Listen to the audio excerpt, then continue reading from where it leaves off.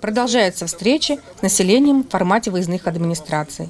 С профильными заместителями, руководителями служб округа, а также представителем Министерства образования Московской области Александром Быковым прошла встреча с жителями деревни Авдеева. Основной вопрос – замена асфальтового покрытия в детском саду и школе. Здесь же ремонт крыльца. Были осмотрены соответствующие объекты, определен объем предстоящих работ.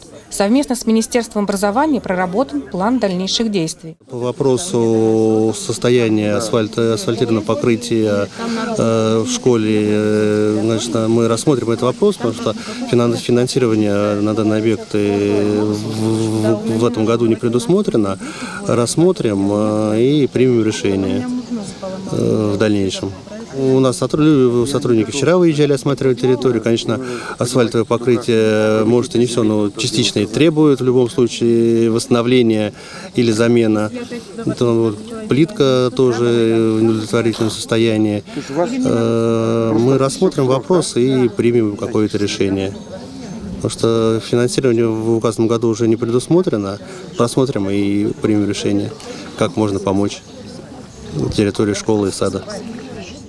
На встрече поступили и другие обращения. Традиционно они касались ЖКХ, получения медицинских услуг и благоустройства дворов. На все вопросы даны подробные разъяснения.